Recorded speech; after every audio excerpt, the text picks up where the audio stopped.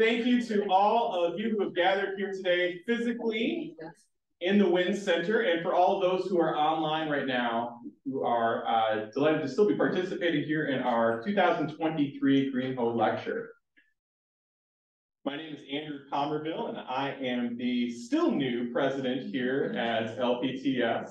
Delighted to meet so many of you who are back this week for our board meetings, but also our friends, our family, those who value this place near and far. Thank you for taking the time to introduce yourselves, not just to me, but to one another. We are a better community because we are together and we bring a diversity of thoughts, ideas, experiences. It is a joyful time to be here at Louisville Seminary. I'm going to get us started with a prayer and then introduce Tyler Mayfield, who will come forward and introduce our wonderful speakers tonight. As you feel comfortable and led from your tradition, from your background, I'd invite you to pause, take a moment, and as we center ourselves and give thanksgiving for this opportunity, let us truly look forward to a good evening together. Gracious God, we come before you with hope in our hearts. In spite of the pain, hurt, war, and continued suffering around us, we know there is an opportunity for us to learn with and through one another. Help us to pause tonight. Let us reflect. Let us be challenged. Let us wonder and let us truly anticipate peace where it might be possible.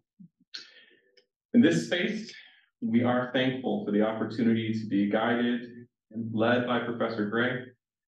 And we have hope in our hearts for what we might discover in one another throughout this evening. We ask your continued blessing on Louisville Seminary, on this world, and on all of your people. We pray this with peace and with hope in our hearts. Amen. It is my pleasure at this time to introduce our A.B. Rhodes Professor in Old Testament, Tyler Mayfield, to introduce our speaker. Tyler?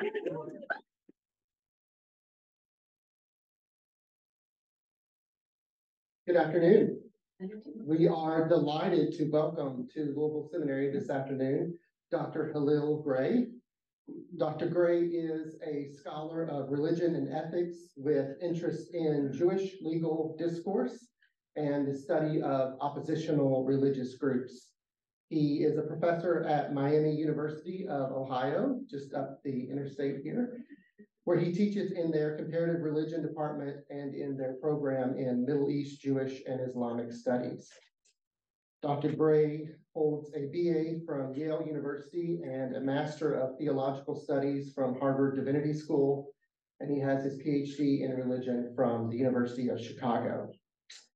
His research includes a decade-long ethnographic study of controversial religious groups. You, might know a few of them, like Westboro Baptist Church or Neturei Karta, an ultra-Orthodox Jewish um, anti-Zionist um, group. If you're interested in these topics or in um, his talk today, you can easily find him, I am told, on TikTok. So uh, look him up there. Uh, just a bit about the structure of our afternoon together. After his lecture, we will have time for question and answer. I have the mic, so raise your hand and I will um, come to you so that everyone can hear uh, the question. So uh, if you have a question, uh, hold it till then. If you're online and want to enter your question into the uh, chat feature, that would be great. we'll also um, have questions from those who are attending the lecture online. So this afternoon, we welcome Dr. Gray as he joins us to present his lecture called Questioning Toxic Theology and Tolerance. Will you join me in welcoming Dr. Gray?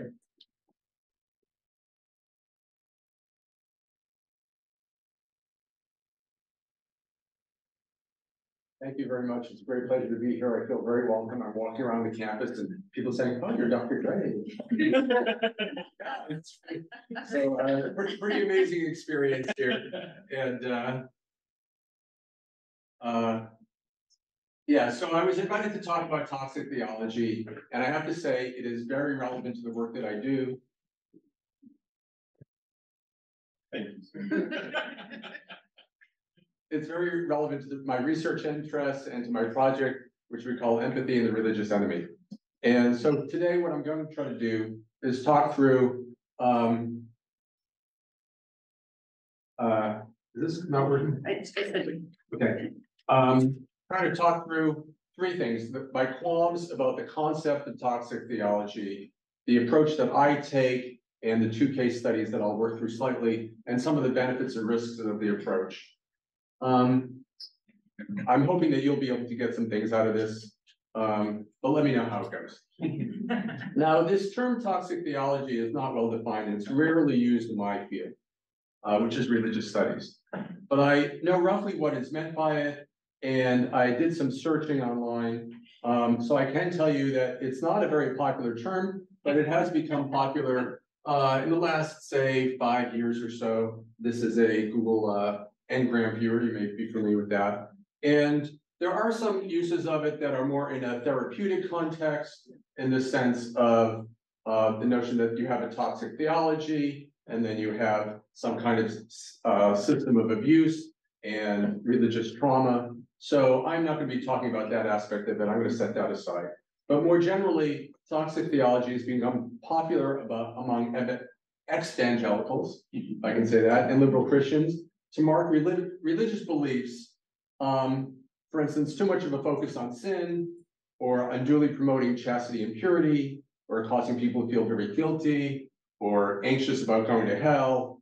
Toxic theology may also refer to beliefs that are deemed to promote hatred or foster violence, or lead adherents to dehumanize others. Now, your invitation, uh, which I appreciate, uh, really pointed, uh, to the example of transgender persons whose identity is opposed by many conservative Christians and whose medical care has become a political target.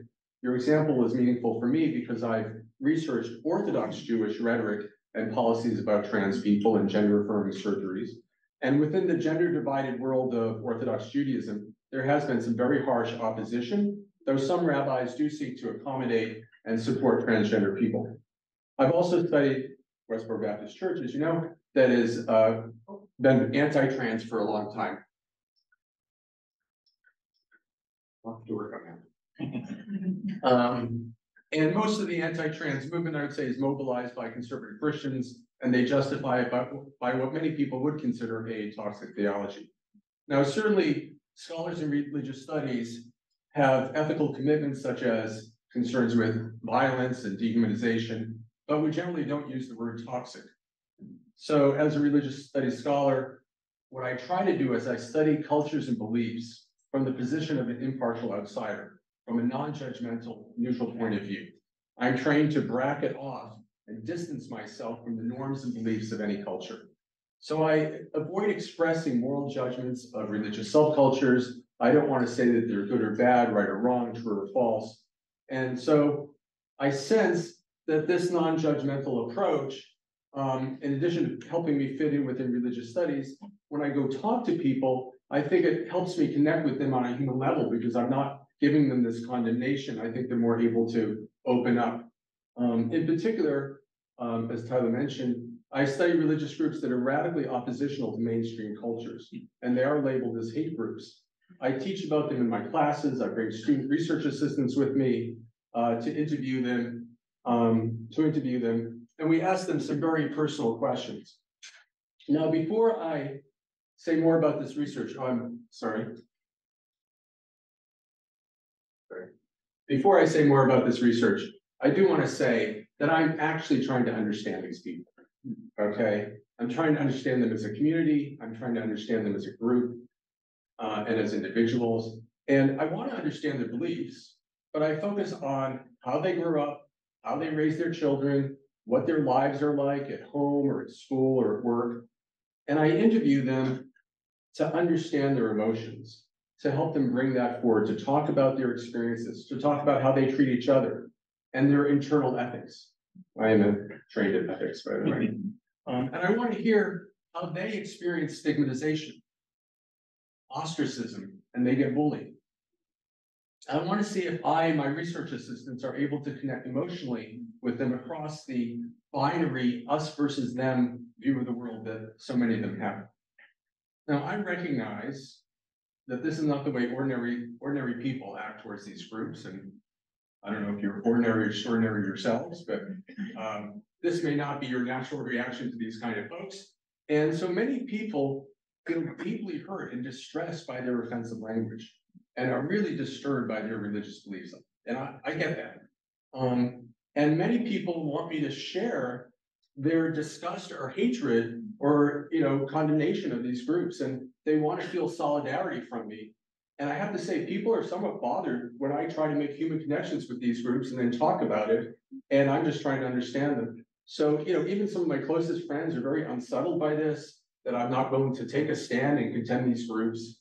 Um, so you might be bothered, you might be bothered too.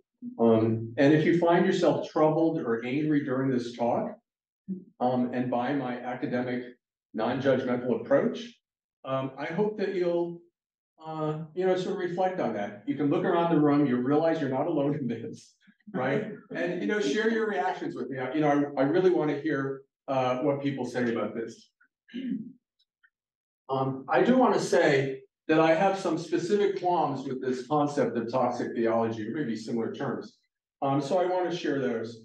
Um, First one, I think, is this issue of polarization. It's natural to, um.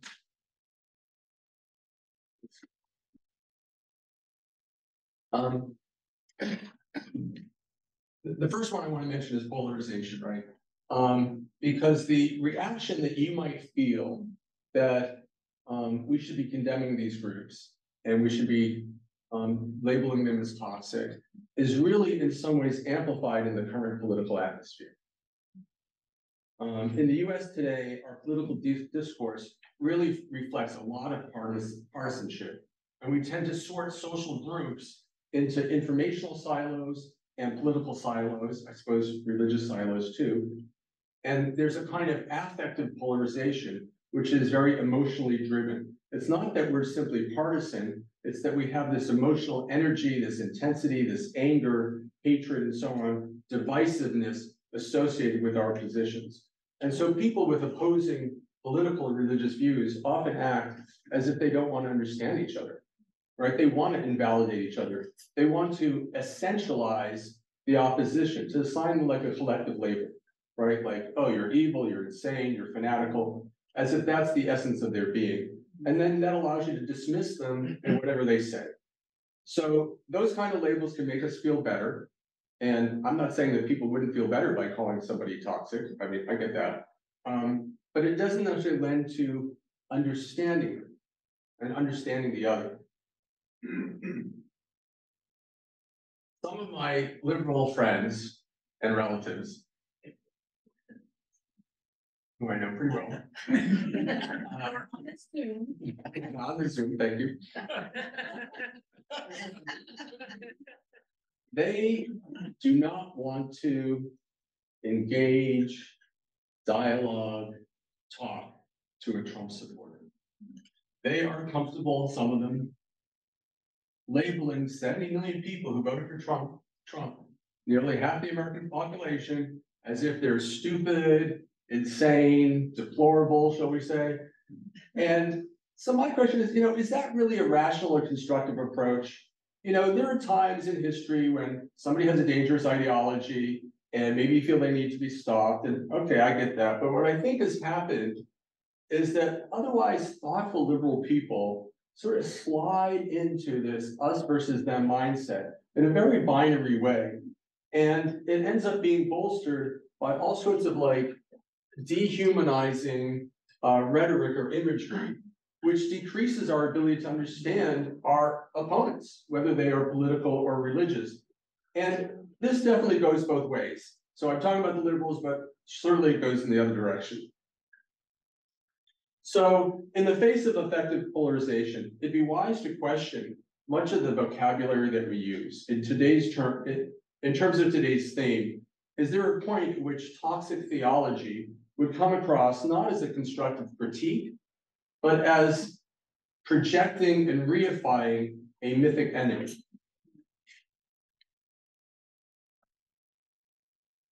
I want to talk about the second qualm that I have about the use of toxic theology, especially for me and my colleagues in religious studies.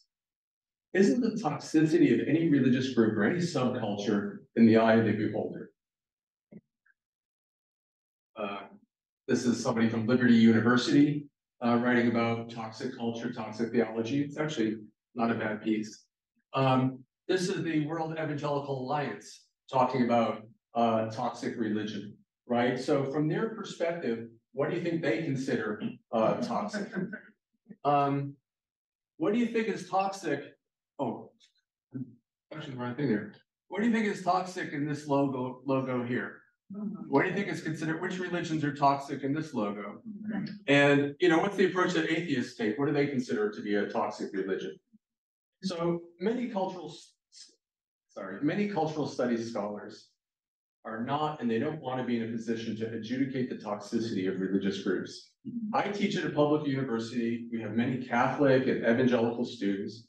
And would I be fostering a good learning environment if I'm sitting in the, in the classroom or giving a speech somewhere in public and I'm saying, oh, you know, there are all these priests that have been accused of abuse. There's the anti-trans reading of the Bible among, among evangelicals, and I start to label that as toxic. So this brings me to a third doubt I have about the concept of toxic theology. And, uh, you know, I have to say the, the term toxic really resonates with me because before I got into the study of religion, I was the policy director of the National Environmental Law Center. And my issues were like toxic chemical accidents, toxic pollution, toxic use reduction. And we use toxic all the time because the public got it and it helped our campaigns. But the chemical industry lobbyists would sometimes, you know, sort of pull me aside or tease me or talk to me and say, look at, you know, you're always using toxic, but everything is toxic. It just depends on the dosage and the exposure. Some of- some of you know what I'm referring to. Um, and I have to say, this is actually not a bad point.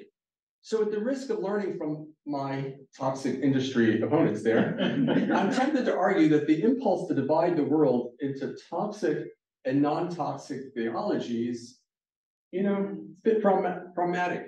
I mean, what would a non-toxic religion look like? You know, does it exist? Uh, do progressive Christians and Jews believe that their clergy and their members are never cruel or deceptive or hurtful or dehumanizing? Do they think that their theology is so robust that any toxic deviation is just due to individuals and not to their theology or not to their groups? I could say the same thing to conservatives, but you're my audience. So to what extent can liberal Christians digest the critique of conservative Christians coming at them? Or from atheists coming at them to reflect on their own theological discourse and their own shortcomings? Now, of course, you're not going to necessarily see it from a conservative standpoint, but can you start to put yourself in that mode? So look at. I don't mind if conservative evangelicals criticize the theology of liberal Christians and call them toxic. I don't mind if the liberals do that to the conservatives.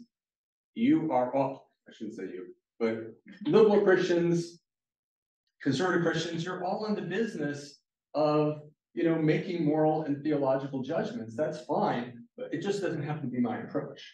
Right? I don't want to have to label any religious subcul- subculture as toxic. So let me explain how I proceed. If I can move forward okay. I'm gonna share with you my research on two religious groups, they've already been mentioned. Uh, and many outsiders would consider these groups having a toxic theology. In my teaching, in my courses, I expose students to all sorts of religious phenomena. And for instance, this semester, they were reading about religious racists, which is pretty intense. And we did a lot of work on satanic groups and Satanism, which was fabulous and fascinating. And I don't just teach about the religious radicals. I've also gone there and I've interviewed with them and I converse with them. And I adopt a kind of both a public and a private sort of discipline when I talk about them in this descriptive, non-judgmental way. So the gist of our approach is sort of like this. First, we try to find subjects who are from a radical oppositional religious group. They vilify some people, or maybe many people, and they themselves get vilified. I try to develop a rapport with them and relationships that go across the binary divide. And I try to interact with them in a non-judgmental, friendly, warm manner, right? So I'm not, when I'm with them and also in private or outside, I'm not trying to judge their morality or theology. I'm, and I'm generally not taking any sides on the issues that they care about, which happens to be a big change in my personal life. Um, I also seek to, uh, sort of resonate with them, understand them on an emotional level. So when I say empathy, I mean empathy in the sense of understanding people's emotions, not just their perspectives, right? And I want to encourage them to talk about their lives and to show themselves as people, to be vulnerable. And for various reasons, I've been able to record them on video. Okay, and so I have these video recordings of them talking in their lives. And so part of what I'm trying to do is educate people, right? Now, I'm educating my students who join me in some of these visits with the uh, oppositional religious groups. Um, but I'm also out there in the public. I want to be able to debunk misinformation about them. I want to share the kind of video clips that I'm going to show you today.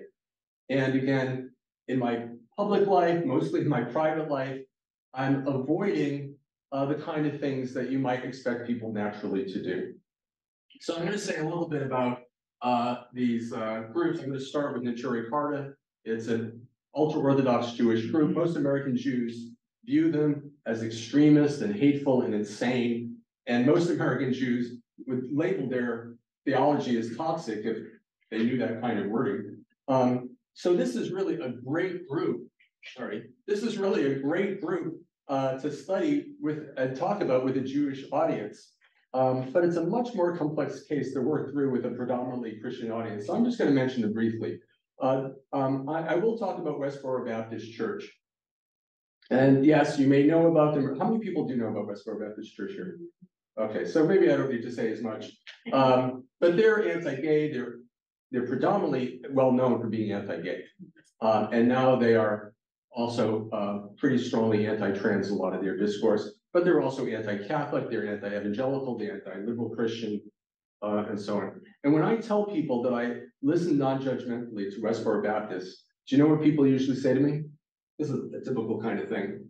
That's all very nice, and they watch my videos, but how are you going to change them? You know, how long is it going to take you to change them? And I have to say, when I first started doing this back about a dozen years ago, I did sort of have this imagination that maybe my active listening to them and connecting with them uh, would somehow change them and change their perspective. Okay. Uh, then I came down to earth and, and they helped me, by the way, to, to come down to earth on this. Um, as did my relationship with, by the way, uh, the IRB, uh, which oversaw, oversees work on human subjects, right? So uh, you have to tell your human subjects what your goals are in research. And you don't necessarily go to a religious group and say, oh, by the way, I want to convert you or something. So, yeah, so there are all sorts of reasons. Um, but, you know, that goal was really um, misplaced. And besides being unrealistic, and rather than change them, what I'm trying to do now is really change us, right? So I'm not sure that I can change all of us. Um, maybe I can change some of my students and some of the people I've worked with. And I think if I can't really change them, I'm trying to change myself. And this work has had a profound effect on me. And um, I think a lot of ways I should just be talking about this from I statements and not trying to overgeneralize beyond beyond myself. Um, but I do want to say that the work I'm doing is not something that I say everybody should be doing, right? I want you to understand what I do. Um, I want you to um, notice or feel the humanity of the people I study. Uh, I'd like you to be able to look at things from my perspective, but I'm not trying to persuade you to join me. Okay, this may not be your cup of tea, and I'm not saying that this work is generalizable. It's not like some standard operating procedure. It's not like some categorical moral imperative. And there are plenty of professionals and individuals who I think should avoid this, and we'll be talking about that. So um, I'd like to just pause for a second. This is what I maybe do more in a classroom. I hope nobody's offended by that. Um, how are you feeling at this moment? And if you think of yourself approaching a group like Westboro Baptist Church, if you're familiar with them, what would make it hard for you to sit quietly in a friendly manner and talk to them? I don't know if you want to write anything down or just pause for a second, think about that.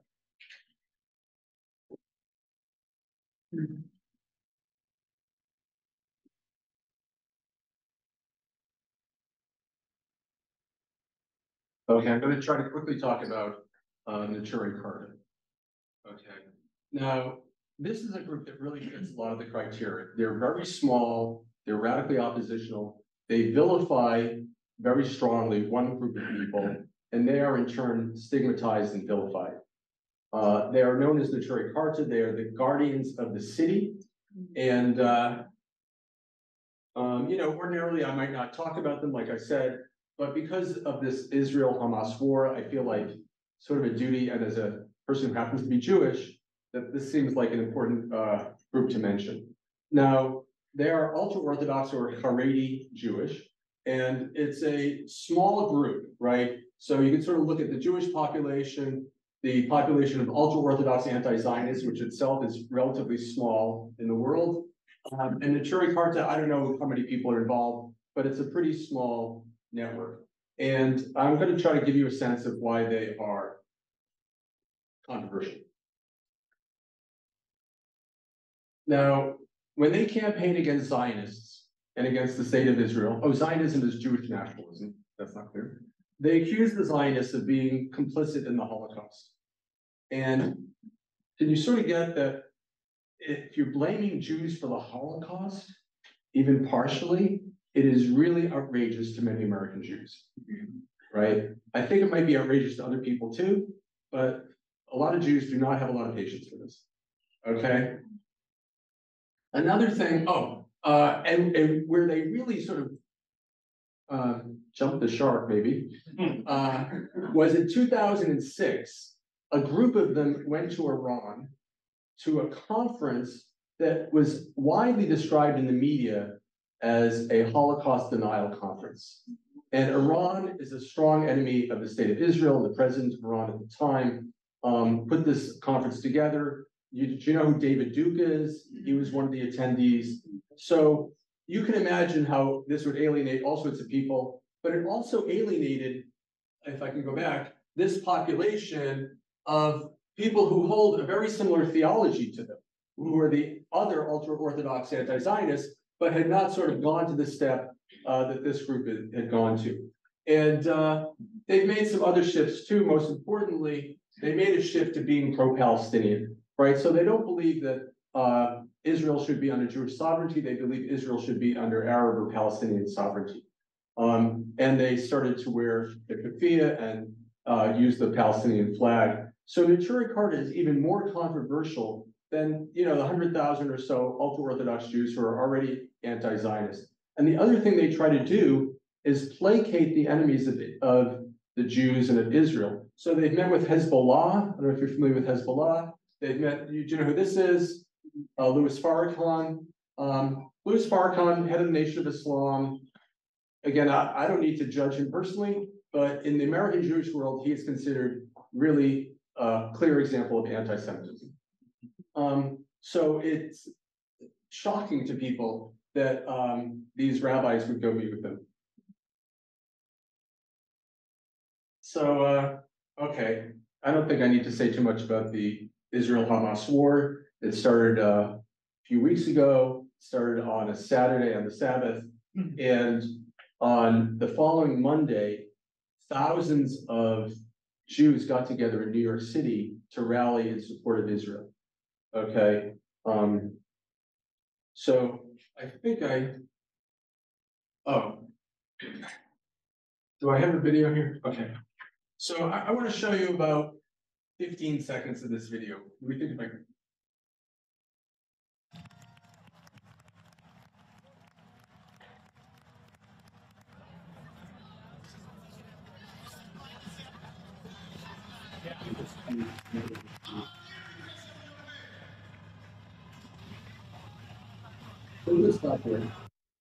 So this is uh, the Neturei Karta group. Um, at this rally of thousands of Jews out there two days after a tremendous massacre of, you know, like twelve hundred Jews in Israel, in, or Jews and other people in Israel. And they're basically saying that it's the Zionist fault, right? And the state, of- and they're talking about the state of Israel and its atrocities. So can you imagine how upsetting this would be? So uh, they, they do this every year. They do this, you know, pretty often. But this particular rally, just a couple of weeks ago, you needed a police cordon. You had a lot of police there to try to protect them because people were super angry at them. So um, a lot of people think that they are cruel and crazy and inhuman and traitors. But they're also stigmatized, right? They're hated, right? People dehumanize this group. Um, so when I do presentations to Jewish groups, boy, you know, they are really surprised that I am willing to talk about them in a really non-judgmental, empathic, calm way. And I show what it's like to meet with them. You know, when I was hosted by them for the Sabbath, I went to their prayer services, I was given honors, uh, all sorts of, you know, interesting stories, uh, jumping on a trampoline with one guy and his family. Um, and, you know, I, I show these clips to American Jews, um, and in a sense, I think what I'm doing is I'm trying to rehumanize what Neturei Karta looks like in, in their actual lives. Let's go to the next slide. Thank you. So now let's, let's, let's go to Westboro Baptist Church. Um, as you know, this is a standalone church in Topeka, Kansas. They have maybe sixty or seventy members. Uh, most of the people in the church are related to Pastor Fred Phelps, who founded the church in the nineteen fifties. Starting around nineteen ninety-one, they became pretty well known because of their intense anti-gay, God hates signs and street preaching, right? So many liberals were outraged at this church during the nineteen nineties, and they started to become very well known. And then about twenty years ago, they spread the anti-gay picketing to the funerals of soldiers who were killed in Afghanistan or Iraq. And this drew the wrath of so many conservatives and gave them a lot of press coverage. Um, so they now alienated both liberals and conservatives. And, you know, they picket against Catholics, evangelicals, liberal, uh, liberal Christians. I know with pastors in Topeka who were, you know, sort of personally uh, picketed against. And when I first spoke uh, to them about a dozen years ago, um, they started uh, preaching at Jewish institutions and against Jews as like Christ killers. So before I show uh, before I show you another video about them, I, I want you to think about this. What would you do in response to Westboro Baptist Church? Because Americans seem to have two approaches. One is you ridicule them, you try to pass laws to stop them, people counter protest, and that's very typical. Um, but it helped make Westboro what it is, what it became, which is one of the best known churches in the in the country, and really one of the most persecuted. If you think of legislation against the church as a form of persecution, and as Todd Powell Williams uh, uh, showed, he's a scholar that all this energy against the church really um, reinforced them internally, right? In addition to giving them uh, incredible, incredible coverage, and it led to an escalation of their efforts. Mm-hmm. There was also a Supreme Court case that got a lot of attention as well, and they won that handily in 2011. Mm-hmm. So the ADL, the Anti-Defamation League, suggests that people just ignore that group. Okay, just ignore the church. And I want to ask you, eh, which would you do, or do you, you know, and how effective do you think it is to take that advice? So I want to give you a sense of what it's like to uh, see the street preaching of the Westboro Baptist Church. I'm going to show you a two minute clip. It's not from the anti-gay content, but it's, or the anti-gay ministry, you could say, but it's rather from the anti-Jewish content. And it takes place outside a, a Jewish conference, uh, Jewish conference. And I think many in the room will recognize the uh, parody of the song they're doing. Hey Jude, let you love you. Hey Jude, to kill the king. He's coming back soon. His wrath is breaking. Got you, the cover of that great sin. Your hell will soon begin. Your doom is coming. Hey you stole that land. You disobeyed God. He took it from you. You thought you could take it back by force. You won't forget divorce or violent rebels. And that's what you get from the old Jews in New York. Yeah, yeah, yourself! You! Yeah, you find that in the Torah, don't you, brute beast? Not. Just obey God. Then you won't have to be dropping those F bombs all over the place. Where was it? Hey, Jude.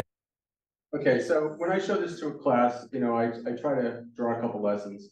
One is, you know, it's hard to find Christian anti-Semitism like this that is so open, but also, you know, relatively peaceful, relatively nonviolent, right?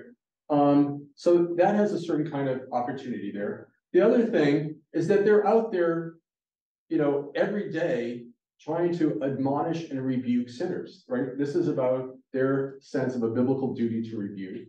And the third thing, as you saw from the woman passing by, that Americans, you know, we're sort of easily provoked. You know, our impulse control is somewhat limited. And the ADL can tell people to ignore groups like the Neturei Karta or uh, Westboro Baptist Church, but you know, people really are not going to do that. So I decided to try out a third approach, which is what I've described of interviewing and trying to understand them. And actually, my main contact with the church was Shirley, is Shirley Phelps Roper, right? And she's really the person I have the closest connection with in the church.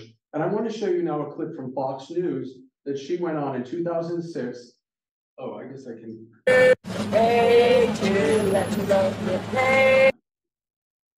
Thank, thank you. So she was on Fox News after, do you remember the Amish schoolgirls who were shot? Um, and they were about to have a funeral. Anyway, so she gets on Fox News. You're gonna watch this clip and let me suggest a couple things, if I may. Notice how you feel emotionally during this clip. I don't know who you are. I don't know your religiosity, your Christian background and how this might have influenced you. Um, notice your emotions, notice her theology. And if you want, you don't have to, but if you want, imagine what she might be going through emotionally, uh, dealing with Sean Hannity. Okay? And if, if you don't wanna watch, this is, I, I'm not gonna show you many intense things from, from Westboro, but if you don't wanna see this, this takes about four minutes, you could walk away or two now.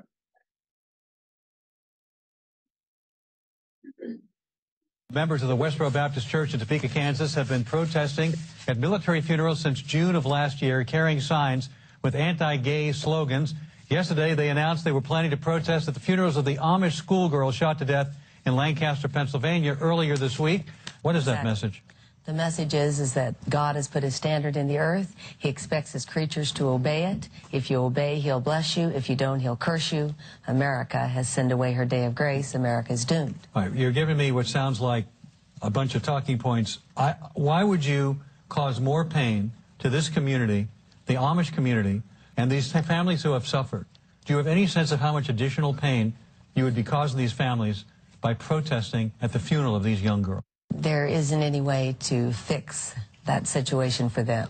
It's not going to be any less painful. If we are there or we aren't there, they did that to themselves. And you say they're not What do you involved. mean they did that to themselves? I mean, they sit over there and create their own form of righteousness instead Did of. those girls deserve to be killed? Uh, well, they did get killed, and they did that. Who controls the hearts of men? It was at the hand of an angry God. Those girls are dead. They, uh, they, they deserve to die? They did deserve to die How can you possibly make a statement like that? because that's exactly what happened, and it happened How at could the you hand possibly of say the Lord that? your How God. could you possibly say that young girls who've done nothing wrong, who are innocent, who are just a, a few years old, who've never sinned, who've never done anything, deserve to die? How could you possibly make a statement like You that? You told me that you serve the God of Abraham, Isaac, and Jacob, who says that when Adam sinned, all sinned. There are no innocent human beings. You know, and you, their pro- you- parents. you protest funerals of soldiers. You protest funerals of anybody who it seems dies under any circumstance. Anybody who's not a member of your church is a sinner and is hated by God. uh, don't go to You- the, anyone you- who's not. A, if you don't serve God, Yeah, then but who serves God beside people in your church? Well, uh, you tell me. I, I don't see anyone on the landscape. There's nobody, nobody except people in your church, which is them. basically your family. A few hundred members of your family are the only people on earth who serve God.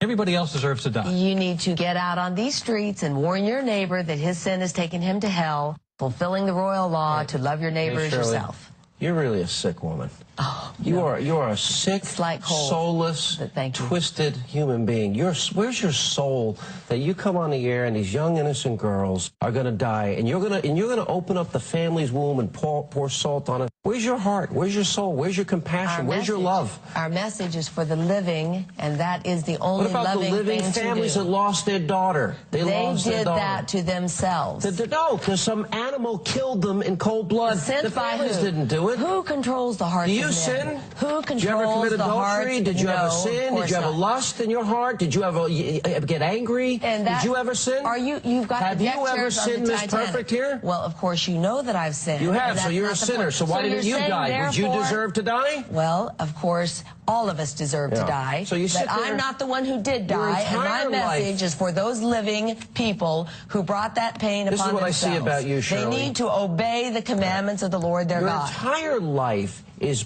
is now sort of focused on bringing pain to other people. The families of innocent girls who died, the families of innocent soldiers who died. God hates And his you get children down more with it. innocent than you. They didn't sin like you those admit you children, those children were What killed at the hands of a raging mad God to punish those families, to punish the state of Pennsylvania, your filthy manner of life and your rebellion against What God your and your conduct against the servants I of God. know- wait a minute, to point B, the dead children. I want to know what your sins are. Oh, I'm not going to talk to you about any of such thing. I don't glory in my uh-huh. shame like you seem to. No, to. I'm just finding this amazing that everyone else is a big sinner but you, and How you admit to you being a sinner. obey the commandments of the Lord Which your ones God? did you break? Obey the commandments of the Lord your God. You don't fix this by saying two wrongs make a right. That's what you seem to be saying. No, that you I'm may not say what God requires of you. You know what I'm saying? If you don't. And although I'm, I'm speaking to our audience beyond you because you're brain dead. Um, what I'm saying to you is you are a soulless, thoughtless, mean, Thoughtless? cruel human being. Thoughtless?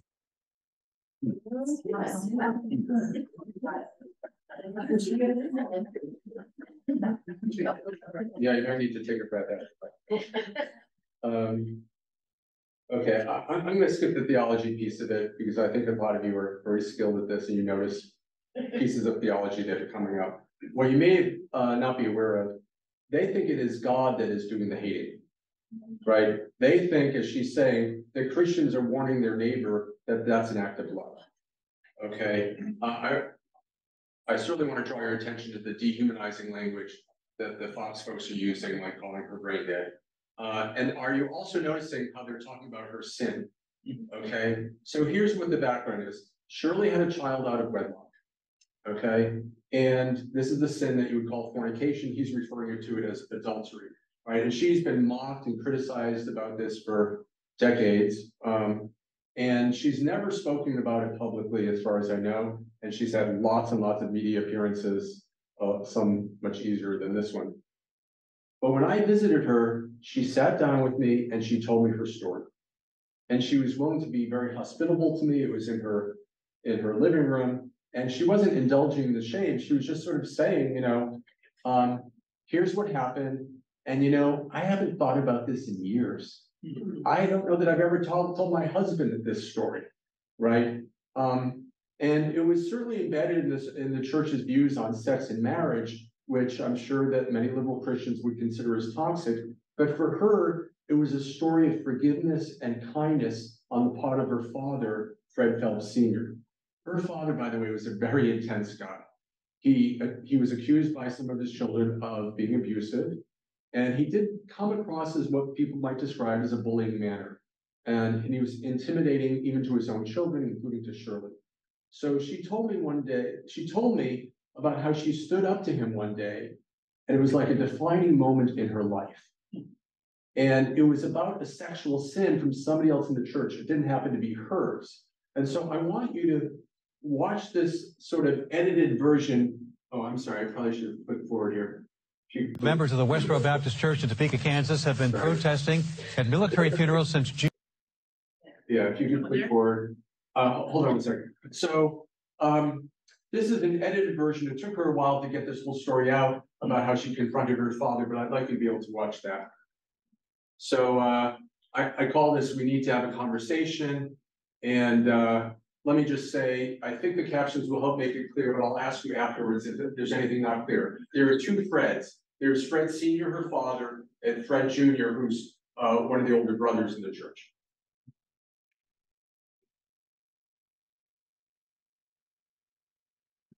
I know I was. I, I was intimidated by. So I what was the defining say- moment thing? As much as you feel like, sure. Okay, it was an issue that needed to be dealt with by the church. Are you allowed to say what it is? It was a little more sticky than some issues because it wasn't your rank and file event that all of a sudden you look up and you've got an event. So we are, we realized we've got to talk about this. That it was my perspective and not reality. It was my perspective. What was? the, my the being intimidated that it isn't see it's like i'll say the wrong thing and i thought this is what i thought and i'll and it'll just be stupid and you know because my dad's so smart you understand that i really don't have anything to offer here so i should just be quiet and it felt intimidating Well, you know, he may not be the kind of person who's so who's so interested in hearing your thinking. but he is Maybe he's not able to act that way but he is now he does now. because of this thing that happened. Because he Yes. need, at that point he needed to hear your. And he needed to hear Fred's thing. Somebody had done something wrong. And it wasn't a little wrong, it was a big wrong. This person is imperiled over here. It's, a, it's as there's only one kind of peril that's important. It's your soul. Right. That's the peril. And now, what can we do to help? What can we do to help them? Being very straight laced, being raised in a self righteous, works righteous environment, that was a segue for my dad. And I have no doubt that he needed this lesson. And all of us needed something out of this. You understand? That's the way God rolls. I'm trying to understand. It's it, it, When you look it's up. a little abstract for me, but well, let me put it to you this way. but I think somebody was it was someone along the genre of what you want to talk to me about. You understand? Okay, that I understand. Okay. Define a moment where he saw things differently. Where where he saw that he needs to be uh, reaching Why did he think as opposed to preacher? well, yeah, Why did he think he needed to be reaching instead of preaching? because he had it tri- was He necessary. tried preaching and it hadn't worked. well, because you you don't get anything back when you're just So saying. what happened in the defining moment? How did you see? How did you see the defi- the moment occur? Well, it was in the middle of the night when I woke up and I thought, and I wasn't going back to sleep because I saw it. I saw what was happening. I saw the frustration of him needing to have the conversation and, and we are not able to have the conversation. So I went down in the middle of the night and woke up my dad. And I said,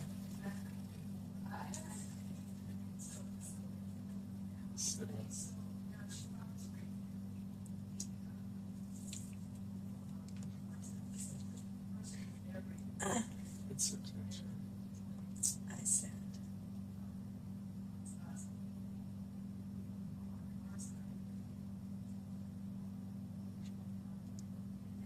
so take your time. Take, take your time. It's okay.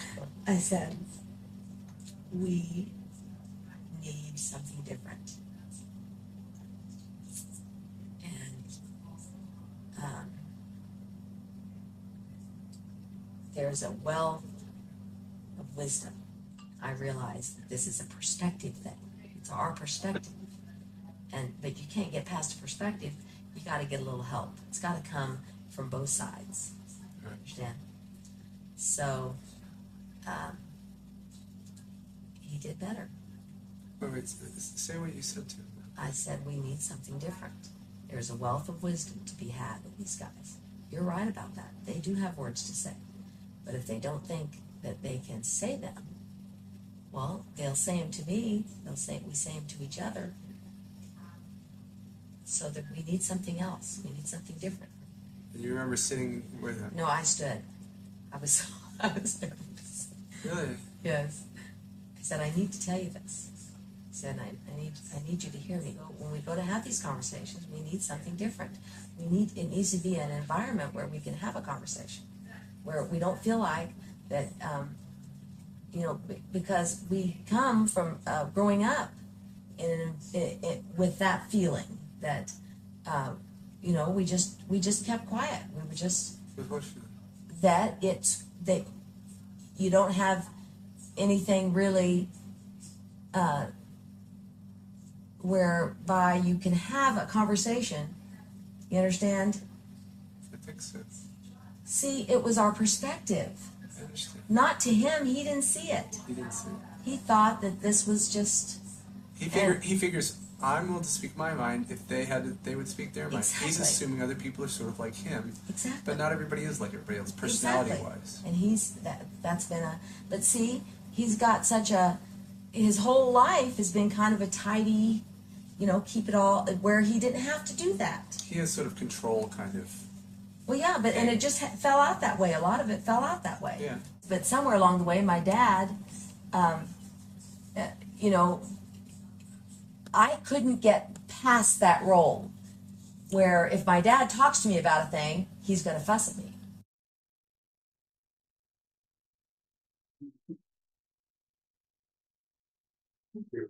I know I was.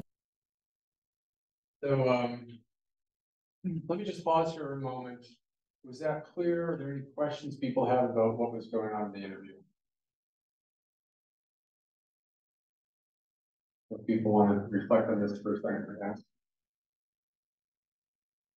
Okay, um.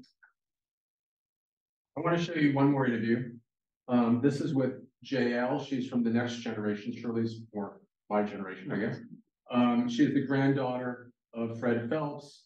Uh, she's the daughter of Jonathan and- and Paulette, who have been very hospitable to me and have been interviewing with me since twenty ten. Uh, Jael is a nurse.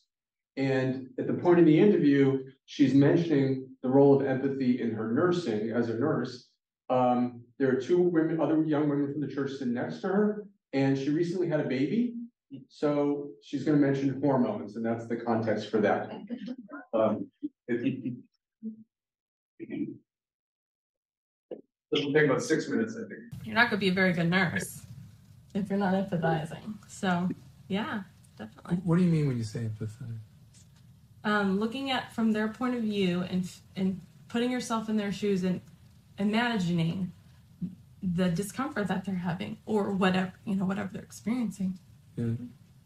And the things that help, uh, and it's kind of the same thing because I went through the nursing, but also Right. when you have people coming in the law office, the first step is for me asking them, tell me about your case, tell me about what's happening. So it's kind of the same thing. Yeah. And so you, they're at a weak point in their life, most likely. Is that They're right? going through hard Yeah. times and they Whether need it's help. a domestic case or a criminal case, Yeah. you just have to be able to be patient and listen to their problems. But the things that help me is that these core foundations, these core doctrines, which is to love your neighbor. And it's there's a lot of things that go along with that. It's not just rebuking them when they sin, although that is essential. yeah, but it's being kind, being gentle, being patient, not being easily angered, not, you know, keeping record of wrong. It's, and so when we read these things, and, you know, we're supposed to keep reading the Bible, keep, and then we have our elders and the sermons every week that teach us how to more how to apply it. appropriately apply Mhm. it. Yeah. And so that we just had a sermon from Charles who is talking about was really good. how do you not how do you bless your enemies like Christ said, but not become partaker of their sin. And so that you know these sermons like that they really help me, and um, of course just reading the words of Christ and how he lived. and his example and trying, you know, to emulate that as much as we can and and it's it's a very personal thing. It's not just I'm out on the street in public. It's every personal interaction, loving your neighbor. Where- love I'm the people who love you. What thank have ye? So, it's so the people who hate you that that are hard, hardest to you know be kind to, and that's the most important time to do it. Yeah, and Wait, wait, s- say more. I'm crying. You're supposed to give me a break.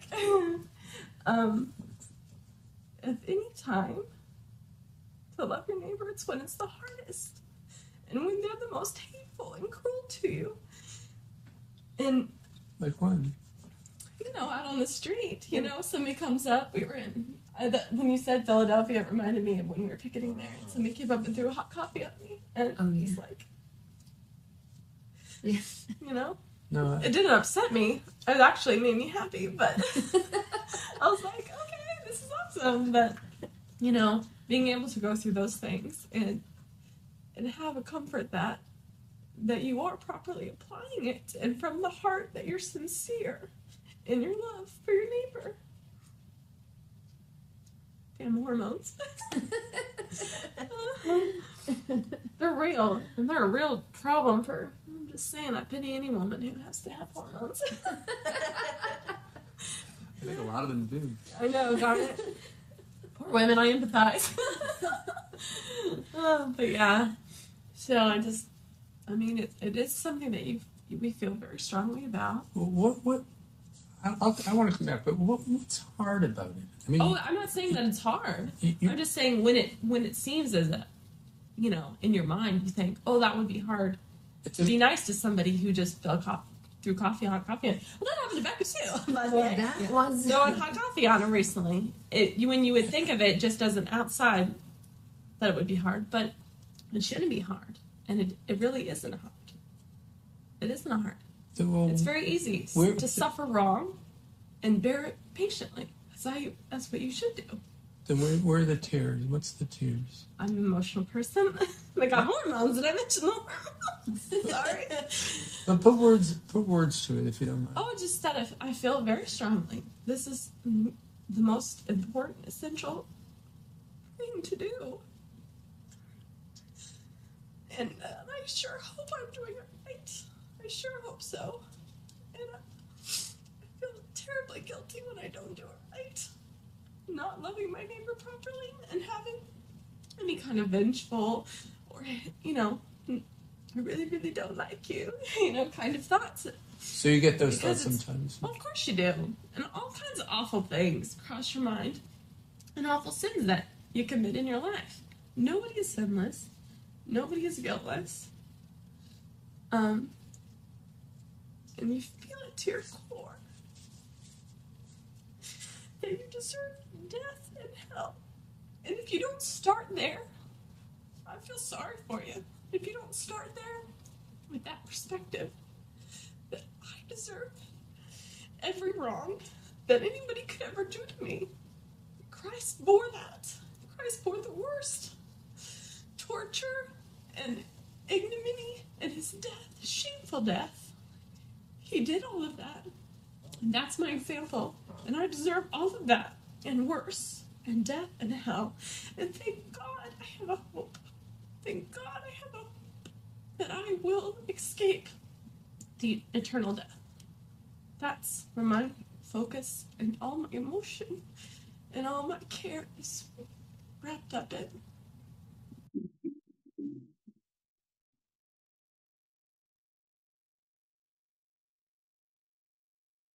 You're not going to be a very good nurse. So, um, yeah, I'm curious to know, uh, how you feel, how you respond to these, um, how you react. For me, you know, even watching this, it just brings me back to how I felt interviewing her. I felt so sort of connected and close to her when she was saying all this. Uh, same thing with this thing with Shirley. You know, for all I know, this leaves people cold. And so I don't know really what, I want to give you a chance to just sort of process it for a second. So I would just turn to your neighbor and just share your reactions either to the clip of Jael or the clip of Shirley. And just talk about it for a minute, how you're responding, what your sense of it is. And you can do that on Zoom too.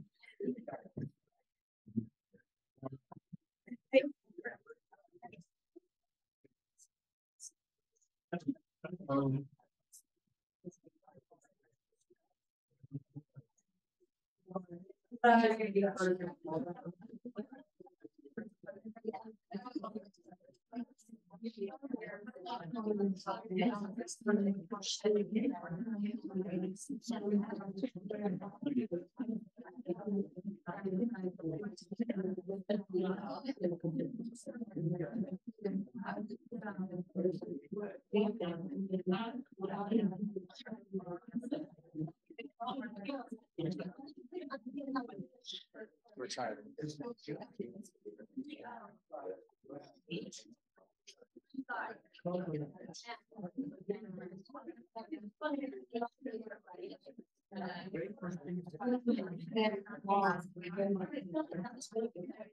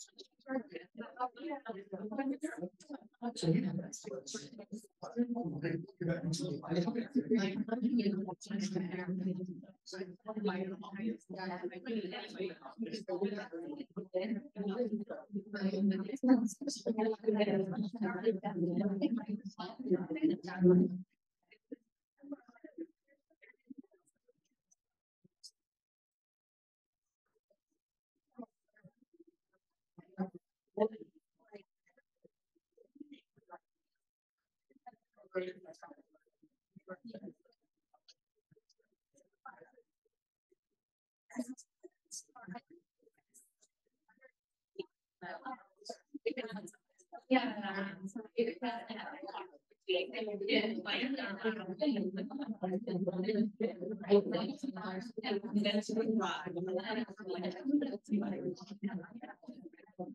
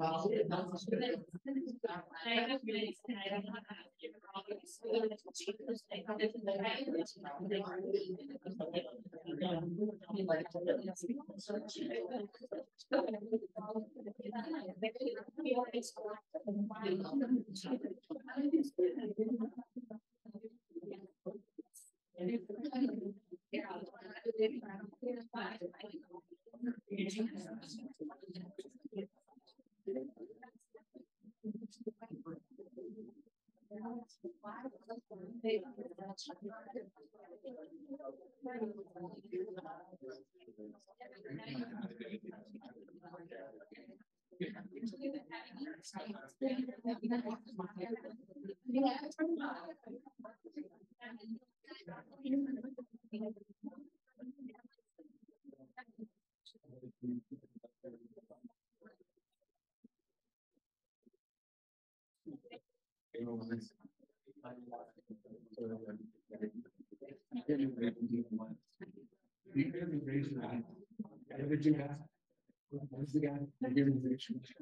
tired.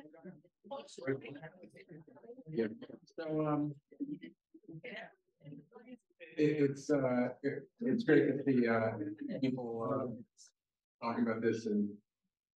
I actually have a fair amount more that I could say, and it seems like maybe what's most fruitful is to try to move quickly to what you want to say, any questions or things you want to share with me. Let me just first start, are there any, I, I do have more I'm happy to say, but do anybody, anybody have a clarifying question about what was going on? Uh, during that clip? Okay, so I, I think I'll just maybe briefly go through some of the points that I was gonna talk about. I was gonna talk about the benefits of what I think this is for me and for my students, uh, and for research. You know, part of it is that you get a kind of rapport or a way of relating with people, uh, a kind of skill that I think is useful to my students. We're also building a fair amount of understanding and knowledge about these particular groups, which I don't think other people are having access to. Uh, so for instance, there's stuff I learned about Neturei Karta that all sorts of historians who have studied them don't know about, and I've sort of talked about that. Uh, and people are, in my students, and I think to some extent, I'm, I'm also, you know, able to learn, you know, interview skills, uh, listening skills, interactional skills, conversation. We're trying to build these kinds of conversations. Um, and I'm hoping that it's a kind of thing that is going to reduce affective polarization uh, for the people who are exposed to it at least. Um, now, I do want to point out this, having empathy is not the same thing as having sympathy for someone, right? And I certainly don't want to come across as defending or doing apologetics for Neturei Karta or Westboro Baptist Church. So non-judgmental in both directions. And this is not a dialogue. I don't come to them as a Jewish theologian or a religious Jew or something like that. Um, I think the skills that we're we're building for people are useful for people who want to do dialogue. And I think the same thing can be said about conflict mediation or about therapeutic counseling. People want to go into these areas that we're giving them skills that I think is useful for them. But again, this is not some universal duty. This is not some grand political strategy. It may not be your cup of tea. I, I totally get that. Um, I do think there are some problems that people raise that you might want to think about. And um, I, I'll just sort of briefly go through what some of these are. One is, it can be argued that you could have a kind of epistemic harm to somebody if they feel forced or required to go listen to somebody who is very oppositional to their identity. Yes. Okay, so I don't think that I'm doing that. Um, and I would not want to do that. Um, now I do have, for instance, actually the person who's gone with me the most is a queer man who loves this kind of work, would love to have a good rapport with Shirley, but he's obviously volunteering to do that, right? But people should not feel uh, forced into this kind of uh, non-judgmental positioning to a group like that. Um, there's also a question of like, are we just advocating some kind of tolerance? And I have to say, tolerance is a, a pretty broad concept, and it's actually a very political concept. Um, I'm not gonna go into the whole history of tolerance right now. Uh, people like Wendy Brown and other scholars have really thought about this. But part of what they're arguing is that tolerance is, oh, sorry. Uh, tolerance is like a discourse that, that puts people into different kinds of sectors. You have those who are tolerant. You have those who are sort of the dominant mainstream group. You have those who are tolerated, various kinds of marginalized groups. And then you have those people who are not tolerated, who are like the barbarians, right? And so tolerance is a discourse of civilization versus the barbaric. And uh, like Wendy Brown connects it to imperialism and colonialism, and it's a pretty problematic concept. There's also a pretty good argument to consider that you shouldn't overdo it with empathy depending on your moral reasoning skills. So you don't want to get so swamped with emotions connecting to somebody that it shifts your priorities in terms of what's important to work on, or in that particular case regarding that person. So there's a whole argument, uh, and I, I think this book is actually very fascinating. His work is very fascinating, and uh, you know, it's a little subverting uh, to talk about uh, going against empathy. The other thing that um, I'm often asked about is how can you call this a neutral point of view in NPOV? There is no such thing of neutral as neutrality.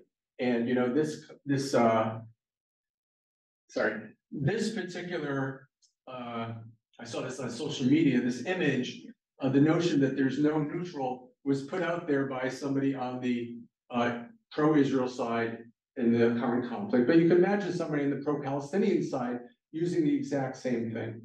Um, and that- that's fine if people want to come from that position, but this is very different than my uh, fundamental understanding of the situation. I try not to see the world in a binary terms, us versus them, and that I think is sort of the basis uh, for what they're saying. When I think of it about a neutral point of view, I'm not saying philosophically there's some pure neutrality. I'm saying it's like a discipline or a protocol that you go towards, um, and you're constantly iterating and making adjustments. I happen to do a lot of work on Wikipedia, and Wikipedia has one of its central pillars is this notion of, do I have it here? Uh, n- neutral point of view. Okay, and so we'll create like an article. I recently created an article on transgender g- genocide. I created an article on transgender asylum seekers. And in that discourse of the editors behind the scenes, it's not about, or at least you're not supposed to be um, arguing or debating the morality of it. You're supposed to be figuring out how do you write this in an encyclopedic informational way. So that's what we mean uh, by NPOV, and that's sort of um, the kind of approach I take in trying to talk to folks. Um, so, okay, so I'm working towards this kind of uh, relationship with people, and I'm hoping it sort of is a kind of a practice in a sense, even though I, I do really, I'm very interested and want to understand the Westboro folks and the Turricarta folks. But I think it's part of a skill building and a thought experiment for a broader effort at dealing with, uh, political divides. Um, and I wanted to give you a little bit also a sense of part of my inspiration or thinking about this. I don't know if you're familiar with uh, Emmanuel Levinas, maybe you have to take classes on him here, uh, reading Total Totality Infinity is quite an experience. Um, but he talks about the ground of, of ethics in your encounter with a face-to-face encounter with a person when you're seeing their face and you're being with the person. And so for me, um, COVID, by the way, was very difficult because I didn't want to try to talk to the Karta people over Zoom. There's something about being in somebody's house that and being with them that really is a different experience. And some people talk about that empathy can have like this embodied kind of sensation. And so I feel like the face-to-face encounter is very important. This does sort of remind me, by the way, um, that even though I'm interested in empathy, I don't know that I actually have a good sense of empathy. Like, some people are very skilled empathically. I would not say that I'm on that. And so maybe that's the kind of thing that I've chosen to do this in order to improve a little bit. Um, and, and, and, this, this also sort of struck me, um, that the relationship with the other, which is like a conversation, creates an epiphany for you. Right?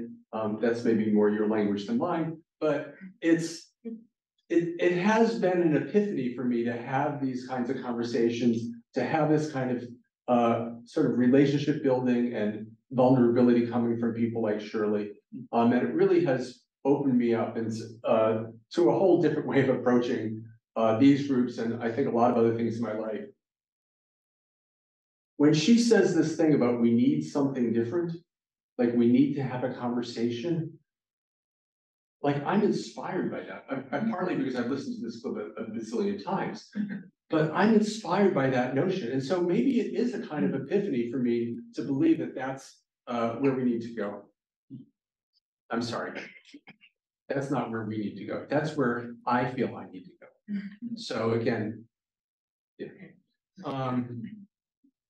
And, and I, I, I do want to say, coming back to toxic theology, if I can say that, um. I don't want to sound like I'm faulting other people for using the term. Uh, but I want us to notice how we react to these groups with abhorrence, with condemnation, condemnation, with all these strong protests. And I want us to think about whether we're actually reinforcing the construction of groups like Westboro Baptist Church and Neturei Karta as a kind of mythic enemy. And when you think of the divisiveness of the American landscape right now, maybe that's valuable for some people, but to me, I would think that we want to have something different to cross those kind of divides. And if my work can be a bit of a proving ground or a test case for that, um, that would be very meaningful to me. So thank you so much for inviting me uh, to this talk and I'm happy to have questions or conversation. I'd be happy for you to talk to your neighbors again too. So, um, thank you. Thank you. Sure, so we have a couple of questions, um, from the chat over here on the left. Yeah, so someone asked about Shirley and whether she was, um, abused. Okay, I- think that's a, a good question. There are people, uh, like I said, who have left the church, who have accused, uh, particular individuals of having done something like abuse. Um, Shirley would certainly never use that terminology, to my knowledge. Um, now, the family does believe in corporal punishment. And, uh, uh, right before, um, when was this? Okay, a couple of weeks ago, I spoke to Shirley and uh, one of the elders in the church about what they thought of toxic theology. And uh, they, ha- you know, they have the groups that they consider toxic for sure. Um, and I asked them about corporal punishment. And it is an important aspect of their theology and how they uh, believe they should be raising children. And they're not, you know, unwilling, you know, certainly Charles was talking about, yes, you know, somebody in theory could be overdoing that. And that would be inappropriate. They totally get that. They do not believe in abusing children. Um, so I don't know if that's partly an answer, but yeah, so, so Shirley is talking about being intimidated. She's not embarrassed about the family's use of corporal punishment, you know. You know, don't spare the rod, um, but she does not characterize it as abuse. Great, thank you. Others? So, um, before coming here, I would have said that, uh, you know, one of the things that concern me about these groups is what I would call provocative behavior. That is what it seems to me as an outside observer watching the news or whatever, that they seem to do things that are deliberately provocative in a way that isn't necessary. Is that, first of all, is that fair observation? Maybe you don't want to say, but, um, Wait, wait, it- it's completely fair. They are not ashamed of being provocative. but do they, do they, okay, so. They are, they are trying to get attention, they're trying to provoke people. Um, I think both groups are trying to do that. I, I'm, I'm sorry, am I interrupting you too much? No, no. Why don't you go to your second part? No, no, no, that was it. You're answering Are it. you, are you sure? Okay, so, I mean. Again, uh, it's sort of odd for me as a Jewish person to come up here and talk about Christians, but my impression is a lot of Christians want to spread the word. And they want to spread the gospel and they use all sorts of methods to do that. And the Westboro Baptist Church, for instance, they are very interested in spreading the words of God. And at one point, actually, they- they've, they've made various transitions, by the way. Over the, especially since their pastor died, Fred, the senior pastor died. But one of the things that they've done is they put Bible verses now on all their signs. Because they're very interested in getting the word out. And they have a lot of qualms about me and where I'm coming from, and am I coming from a satanic kind of place? Uh, but they do hope that whatever I say, whatever I publish will include spreading, uh, the words of the Bible. So they use provo- provocation for that. And can I say one more thing about it? Which is, it's, it's sort of similar to asking, like, is, do they just want a lot of attention? Is, is part of, I don't know if that's what you meant, but people sometimes say, they just want a lot of attention, and okay. But you know, people do want attention. And I want to be able to give people the attention that I'm able to give them. And I would love to see more people do that. You know, uh, not just, not just with Westboro, we see all sorts of people out there who act like they need attention. So it's a question of like, can we give them the attention that is warm and listening and trying to understand them?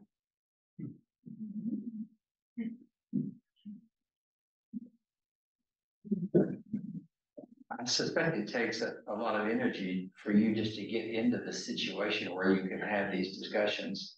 And I feel like these discussions can be helpful for all of us to learn from, but if I were to be able to beam you into a Hamas stronghold tonight or something, can you imagine that I mean, they might be peaceful and having fun and talking great, you know, but wow what much you learn. Thought, but is your process, I think your process can be really valuable for all of us.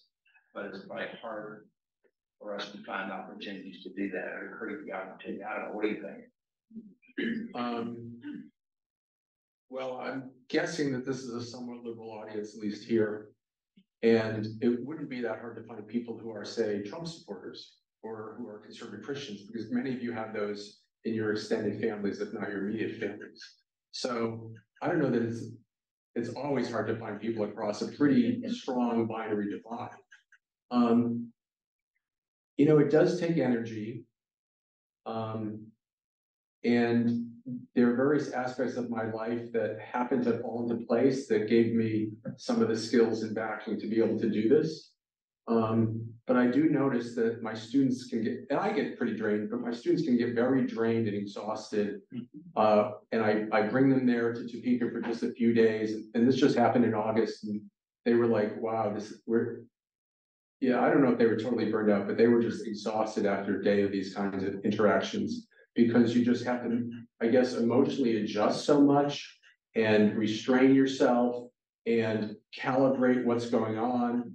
Uh, some of them don't entirely understand the background. So coming as, as an experienced person is very different, you know, in terms of my energy level uh, with my students. Like I, I can go for ten hours with these folks now and, you know, one interview after another.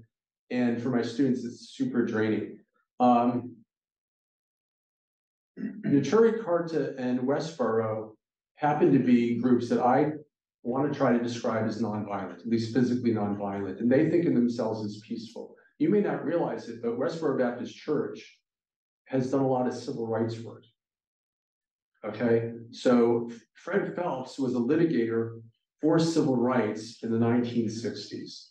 Okay, and I believe they were inspired by the civil rights movement, people like Martin Luther King, and they believe in nonviolent protest. Okay, mm-hmm. so um, it happens to, I was pretty nervous when I first started uh meeting with them because I didn't know what it would be like. I didn't know if they would be coming at me the way they came at Sean, the way she came at Sean Hannity or something. Um, but no, I mean, in person, these folks can be very hospitable. Um, and I chose them because of, you know, that. Um, if I could do Hamas, I would do Hamas. You know, if I could sit down with him and it was a safe thing, or if I could bring my students to a safe thing, I would certainly do that. Um, and I think, I mean, I think many people would benefit um, by being listened to in a way that's not coming at them in a judgmental way. So not that people can't benefit from being critiqued as well, for sure. But, but yes, I think it would be amazing to be able to visit with Hamas. And there are plenty of Jews who, not plenty, there are Jews who, who have gone to Gaza and have been meeting with Hamas. I know, I know these people through, uh, social media. And the, the uh, Karta people, uh, visited with Hamas as well several times.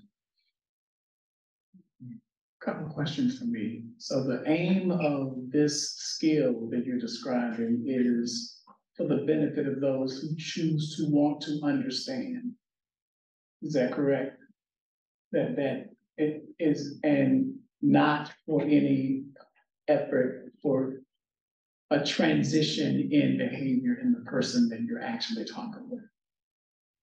And I ask that question because as you describe these two groups as nonviolent, I would submit that they are extremely verbally violent and harmful for those who they claim to love. Their definition of love is what's problematic for me. Mm-hmm. But, and I, and I track with the, the, the effort to understand, to uh, have some uh, understanding of where people and what makes them tick or what what, where they're coming from. But what I'm having an issue with is the, the other side of it, that, that if it mm-hmm. transforms me and helping me to understand them in a human way, how does that bring about peace if leaving them continues them to be verbally violent and harmful for others? Yeah, so I- agree that the term nonviolence is a broad term. And so I do try to say physically nonviolent, or I, I try to put it in some kind of context, because I understand what you're saying. Um, and certainly the same thing would be true of how people look at Neturei Karta. I mean, people, in, in some ways, it's maybe more intense for many people, because people think that Neturei Karta is supporting, they, they view it as supporting terrorism. Uh, so they, they view it as like giving a hand to people who are really actively violent. Um, but certainly there's a lot of violence against, uh, gays and lesbians, against transgender people. So yes, I, I get what you're saying. Um, yeah, my goal is not to change them. My goal is not to change their behavior, not to change their speech. Um, I've actually gone through a process of trying to come up with principles around speech that I thought that they could agree with, that I thought many other people could agree with. So I did start to work on that kind of a process because they also believe that there are limits to speech. Um, and they also believe there are limits to harming people through speech, but they obviously have a different view of that. Um, I, I, I do want to clarify, I am trying to help people understand them. And I'm not always, it's not just for me to understand, I do want to educate other people about it. So I don't ask everybody, do you want to be educated about Westboro? I'm assuming you came here because, you know, you're open to that, but certainly if somebody wants to walk out and they realize it's not for them, that's fine. But yes, I want other people to understand, not just people who are like, does that make sense in ter- terms of what you were saying, Choice? Am I answering your question about the other part? Yes. Thank you. Thank you. Sure. Hi, I just had a um quick, more of a clarifying um question for you. Um, so I guess what would be the line to be drawn between, you know, something, cause you were mentioning about verbal violence, right? What's the line that's drawn between um just saying something that doesn't, you know, agree with the other side? But, you know, it's just a disagreement or a criticism and actually being verbally violent to the point where it is being abusive, you know? Cause I know a lot of us, it's really easy to say sticks and stones may break my bones, but words can never harm me. But we know that that's not true, cause they do, but what's the difference? where's the line to be drawn in that? You're not asking about the line in terms of what I say to them? Just in general, I guess, you know, whether we're talking about like, um, you know, them protesting about hating gays or just maybe like a. You know, saying, oh, I just don't agree with this concept. Yeah, I'm not sure that I have a theory of um, when language crosses that line. So to me, that feels like a sort of a moral judgment. Um, but it is true that people are calibrating, right? And the Westboro people are calibrating. They're not, they're not out of control entirely. Um, and, you know, the picketing, when they're in a picket and in that little, uh, what, uh, Paul Williams calls like a ritual space at that picket, or the, uh, Neturei Karta people, when they're cordoned off in that space, they do, they do have sort of a collective effort, but they get very agitated. Um, but they are controlled in what they're saying. And so when they meet with, uh, me and with my students, they are not using the same deeply offensive terms that they might use, that they do use on the, on their signs and in the pickets. Okay, and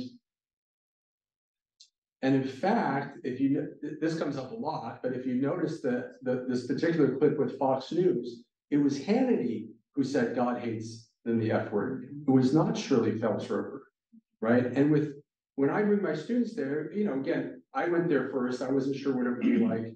They are not using these terms just willy-nilly.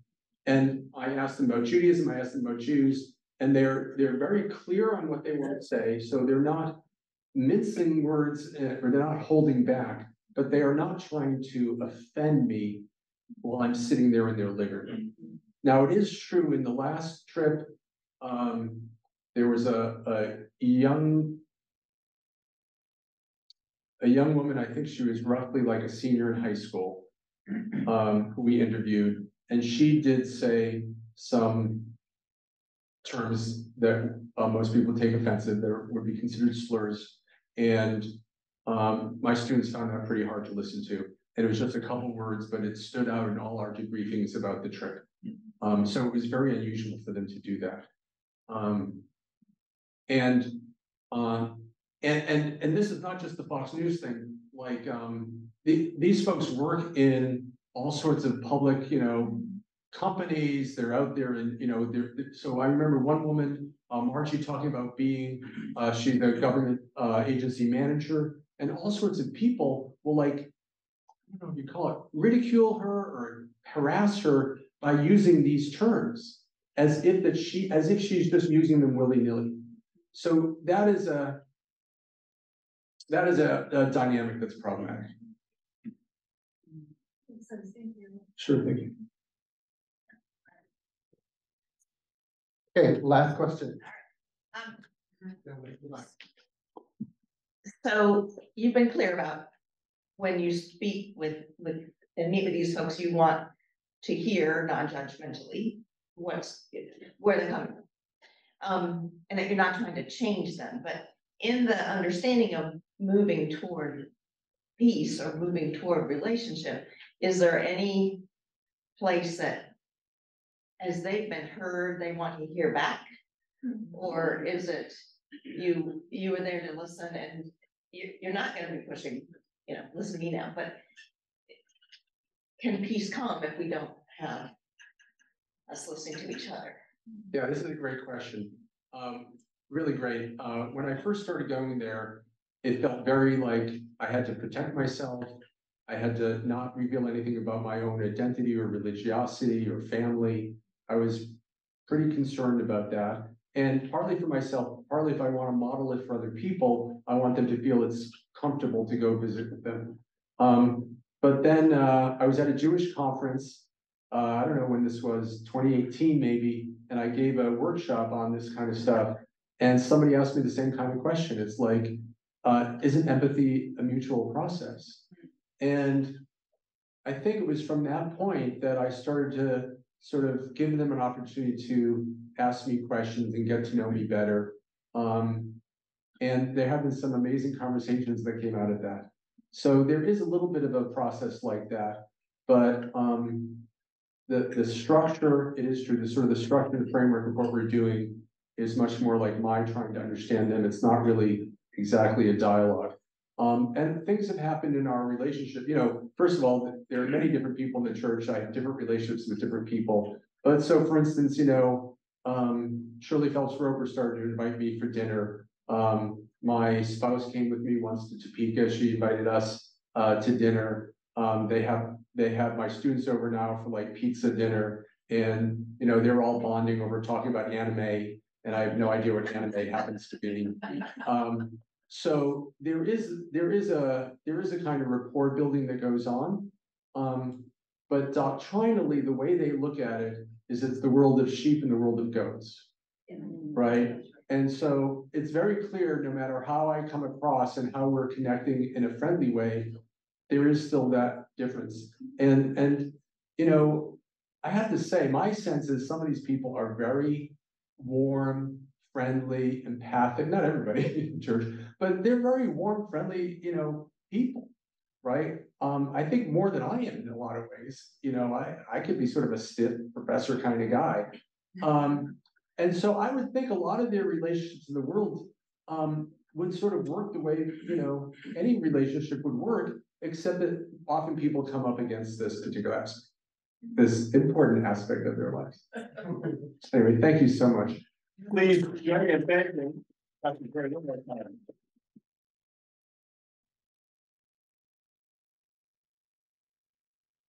If you have some time afterwards, uh, please join us in the Winn Center. Just a couple of quick announcements though, before we take off into the world. A reminder, our Caldwell lecture, you can need to register by November seventh. You can see it there. I hope the folks on Zoom are getting that around the broadcast as well.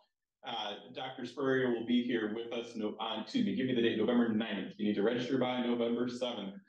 Otherwise, we're in the midst of a wonderful semester. Board trustees, members who are here, interact with some students, some staff, some faculty, and let us all be very thankful we're part of a community that can have Dr. Gray here to to speak and certainly to be challenged by the words and think about what we do next. Everyone take care and we will see you soon. Have a good night and goodbye to everyone on the Owl on Zoom.